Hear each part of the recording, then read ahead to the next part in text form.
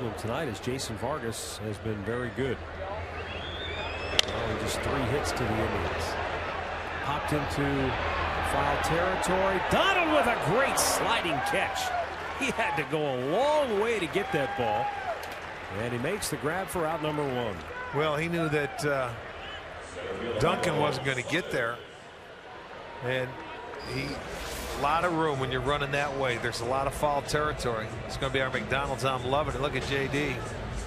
Long way to go. Gets over there, catches that ball and slides. Very nice running catch. He's the only one that was going to get there and he's able to put it away.